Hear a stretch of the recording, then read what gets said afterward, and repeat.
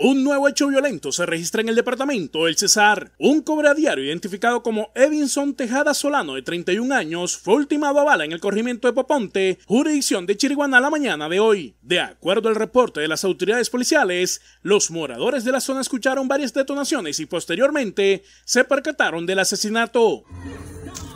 Ahí justamente donde está el policía parado, Cristian, ahí está el man tirado, y no que el policía no está parado en el medio, pero ahí está el man tirado.